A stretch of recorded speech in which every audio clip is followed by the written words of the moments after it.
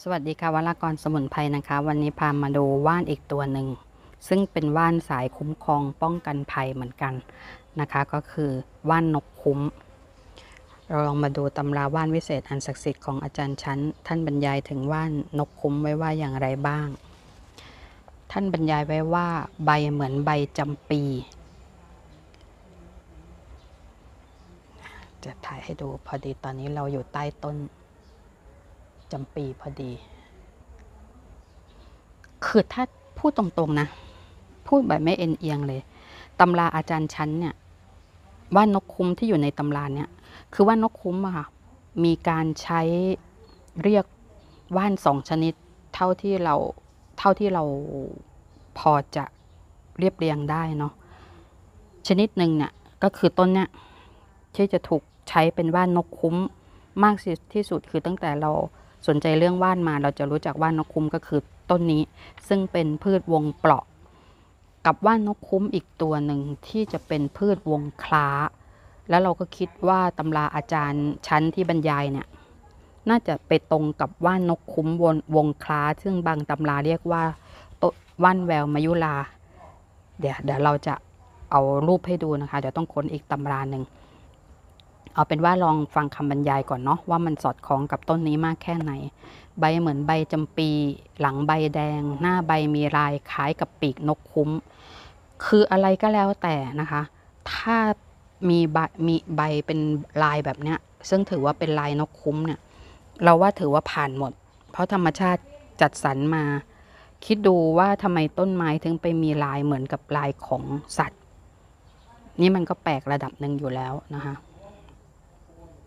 มีสามแถวต้นยาวไม่เกินคืบ คือคำยายส่วนหนึ่งมันก็มาทางต้นนี้แหละ แต่อีกส่วนหนึ่งมันก็เหมือนกับจะไปออกไอ้ต้นวงคล้า ซึ่งเราคิดว่าควรจะใช้ได้ทั้งสองต้นอะถ้าถ้าแบบนี้จะว่าคล้ายใบจำปีไหม ก็คล้ายนะคะ เพราะฉะนั้นตำราเล่มนี้อาจจะหมายถึงต้นนี้ก็ได้ก็ลองฟังกันต่อเนาะมีสามแถว ต้นยาวไม่เกินคืบ ต้นมีสีเหลืองอ่อน สีเหลืองอ่อนไหม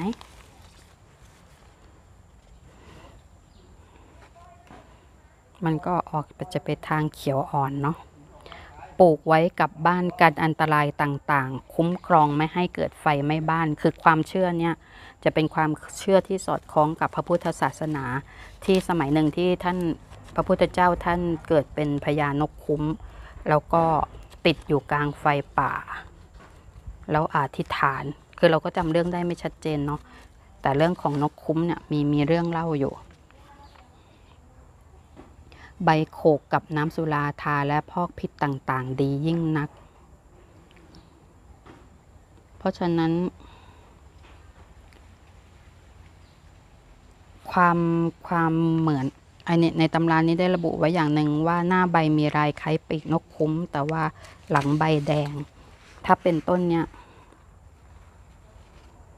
หลังใบก็คือเขาจะมีลายที่ทะลุหลังใบเนาะจะเรียกว่านี้คือหลังใบแดงไหมนะคะ ก็ลองพิจารณากันดู แต่ก็ให้รู้ว่าหลักๆแล้ว เวลาที่คนพูดถึงว่านกคุ้ม ต้นนี้จะเป็นต้นที่ถูกเรียกว่าว่านนกคุ้มเป็นอันดับหนึ่งเลย แล้วก็จะมีอีกต้นหนึ่งที่เป็นพืชวงค้าที่จะเรียกว่าว่านนกคุ้มเหมือนกันนะคะ เดี๋ยวจะพาไปดู ก็ต้องขออภัยนะคะที่เราหาหนังสือเล่มที่ว่าไม่เจอ คือเล่มที่ระบุต้นเนี้ยเป็นว่านนกคุ้มต้นนี้เป็นวงคล้านะคะแต่ใบอะจะเป็นลักษณะเหมือนกันกับวงเปราะเลย ก็คือมีลายเหมือนกับลายของปีกนกคุ้ม ซึ่งต้นเนี้ยถ้าเป็นวงคล้า แต่ใบลายเหมือนปีกนกคุ้มอะส่วนใหญ่จะเรียกว่าว่านแววนะมายุลา ซึ่งปลูกเป็นเมตตามหานิยม แล้วก็ใช้ทางเสน่ห์เจ้าชู้แต่เราจำไม่ได้จริงๆว่ามีตำราเล่มหนึ่งที่ระบุว่าต้นเนี้ยคือต้นว่านนกคุ้มนะคะ ก็เลยเอามาเล่าสู่กันฟังอันนี้เราพอดีเราไม่มีหนังสือก็เลยเปิดไฟล์ดาวน์โหลดของอาจารย์โอภาสขอบเขต ซึ่ง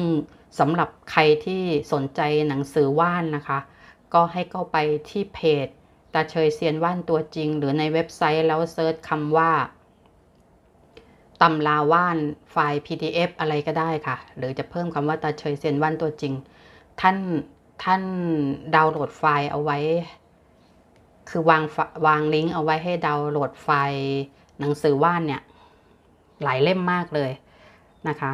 ซึ่งก็ดีกว่าเราจะไปเสียเงินซื้อแล้วจริง ๆ ที่สำคัญก็คือหาซื้อไม่ได้ง่าย ๆ แล้ว เอาไว้เป็นการศึกษาเบื้องต้นนะคะ มันก็จะมีว่านตัวดูง่ายดูยาก แล้วก็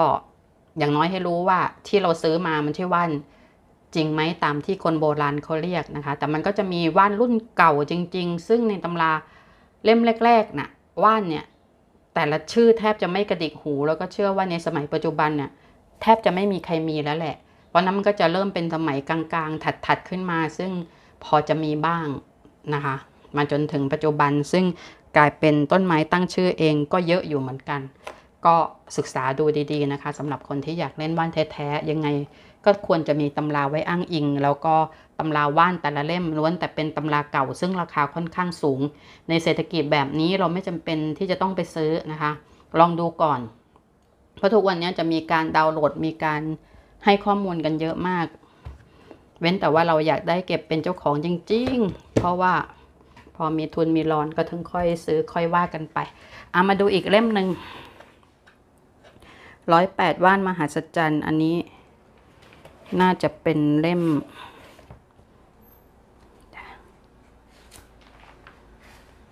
เล่มสามหรือเปล่านะคะ เขาก็พูดถึงว่านกคุ้มเหมือนกัน แต่เขาจะออกเสียงว่านกขุม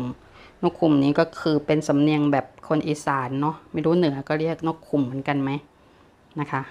ก็มีบรรยายเอาไว้เพิ่มเติมแต่อันนี้ ท่านมีแต่หัวก็ขึ้นเนี่ยค่ะ ลักษณะหัวแบบเนี้ยคือพืชวงเปาะ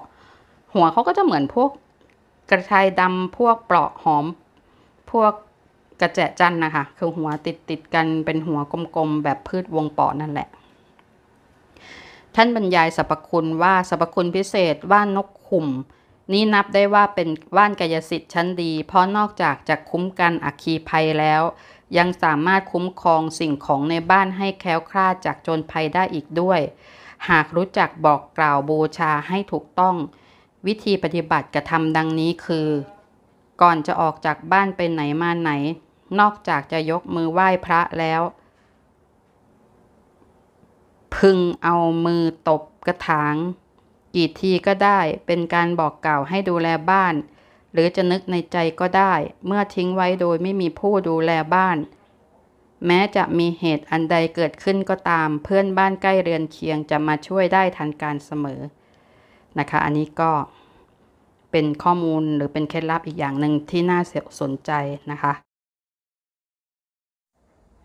เรามาต่อกันอีกนิดกับตำนานเรื่องของนกคุ้มนะคะ ในบท ขัดวัดตกประดิษฐ์นะคะ สมัยหนึ่ง สมเด็จพระศาสดาเสด็จจริกไปในแว่นแคว้นมคต เพื่อบินทบาทพร้อมด้วยพระสาวกตามเสด็จเป็นอันมาก ครั้นเสด็จกลับหลังจากทำพัทละพัตรกิจเป็นที่เรียบร้อยแล้ว พระผู้มีพระภาคพร้อมด้วยพิสุขสงฆ์เป็นอันมาก เสด็จเข้าไปทรงประทับเจริญสมณธรรมในป่าแห่งหนึ่ง ขณะนั้นได้บังเกิดไฟ ป่าขึ้นในทิศทั้งสี่พิสุขทั้งหลาย ต่างพากันตื่นตระหนกตกใจ บ้างก็บอกว่าจะพากันไปช่วยดับไฟ บ้างก็บอกว่าเรามาช่วยกันจุดไฟเพื่อสกัดไฟกันดีกว่า ยังมีพระพิสุผู้เป็นเถระบางรูปกล่าวเตือนขึ้นว่า พวกเราจะตระหนกตกใจไปใหญ่พระบรมสุคตเจ้า ทรงประทับอยู่ด้วยกับเราที่นี่เราควรจะไปเฝ้าพระผู้มีพระภาค เพื่อให้พระองค์ทรงแนะนำเรื่องนี้จะดีกว่า พิสุทธ์ทั้งหลายจึงพากันเข้าเฝ้าพระบรมศาสดาสัมมาสัมพุทธเจ้า ณโคนต้นไทรใหญ่ต้นหนึ่ง แล้วทูลเรื่องไฟป่าให้พระบรมศาสดาทรงทราบ พระบรมสุคตเจ้าเมื่อทรงทราบจึงได้ทรงเสด็จลุกขึ้นยืนทอดพระเนตร ไฟในทิศทั้งสี่ในทันทีนั้น ไฟป่า ที่พระบรมสุคตเจ้าทรงหันไปทอดพระเนตรได้ดับไปดุดดังบุคคลถือคบ เพลิงที่มีไฟลุกอยู่ แล้วจุ่มลงไปในน้ำไฟนั้นได้ดับลงในฉับพลันฉันนั้นโดยรอบพื้นที่ประมาณหนึ่งกิโลครึ่งพิสุทั้งหลายเห็นดังนั้นจึงทรงกล่าวสรรเสริญ พุทธานุภาพของพระผู้มีพระภาคเจ้าว่าเป็นที่มหัศจรรย์ยิ่งนัก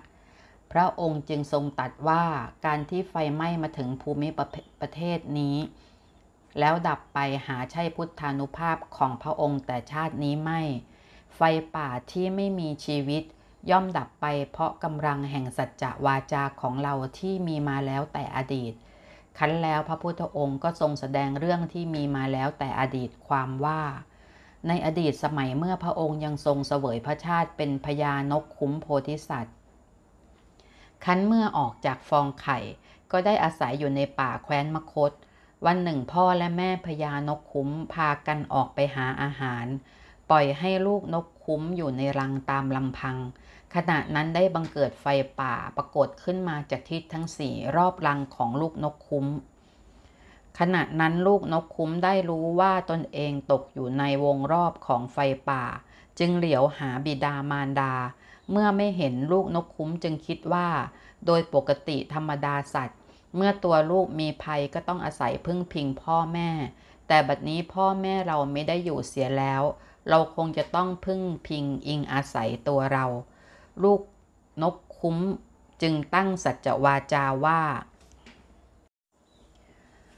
คุณของศีลมีอยู่ คุณของธรรมมีอยู่ คุณของสัจวาจานี้ก็มีอยู่จริง ปีกทั้งสองข้างเรามีอยู่ แต่ยังบินไม่ได้ เท้าเราทั้งสองข้างมีอยู่ แต่ยังเดินไม่ได้ บิดามารดาทั้งสองเรามีอยู่ แต่บัดนี้ไม่ได้อยู่กับเรา นี่เป็นสัจวาจาของเรา ไฟป่าที่ไม่มีชีวิตเอ๋ย ด้วยเดชแห่งสัจวาจานี้ ขอไฟป่าจงดับไป คันเมื่อสิ้นสัจจะอธิษฐานของลูกนกคุ้ม ไฟป่าที่ไหม้มาทั้งสี่ทิศ ก็ดับลงโดยพลัน ดุดดังบุคคลถือคบเพลิงที่มีเพลิงลุก แล้วจุ่มลงในน้ำฉันนั้น ไฟนั้นก็พันดับไปในทันที องค์สมเด็จพระชินสีชินสีจึงทรงตัดแก่พิสุทั้งหลายว่า แต่บัดนั้นจบจนถึงการนี้ ไฟป่าไม่อาจเผาไหม้เข้ามาถึงเขตนี้ได้อีกเลย ซึ่งมีอาณาเขตโดยรอบโดยประมาณหนึ่งกิโลครึ่ง นี่แหละพิสุทั้งหลายเป็นอนุภาพของโพธิสัตว์ที่มีอยู่ในตัวนกคุ้ม ผู้บำเพ็ญบารมี จนได้มาเป็นเราตถาคตในปัจจุบัน นี่ก็เป็นที่มาที่ไปนะคะของนกคุ้มซึ่งเป็นสัตว์ชนิดหนึ่ง ซึ่งเป็นนกที่อยู่ในวงนกกระทา แล้วก็กลายเป็นตำนานเป็นความเชื่อที่ทำให้ว่านกคุ้มที่มีลักษณะใบเหมือนกับลายของนกคุ้ม มีอิทธิฤทธิ์ในการที่ป้องกันไฟก็ด้วยมาจากตำนานเรื่องเล่า แล้วก็ พระปริตบทนี้นะคะ ก็เลยฝากเอาไว้ให้ได้ทราบกัน อย่าลืมกดไลค์ กดแชร์ กด Subscribe กดกระดิ่ง เพื่อไม่พลาดการติดตามรับชมในคลิปต่อๆไปของเรานะคะ ขอบคุณมากค่ะ